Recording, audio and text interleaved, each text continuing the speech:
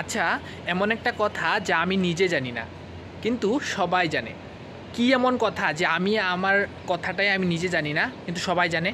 সেটা কিন্তু তোমার ক্ষেত্রেও হতে পারে। একবার ভেবেচিন্তে দেখো। আর একটু জানলে কমেন্টে বলে দিও, কি এমন কথা যে আমি নিজে জানি না, কিন্তু সবাই জানে? ঠিক আছে?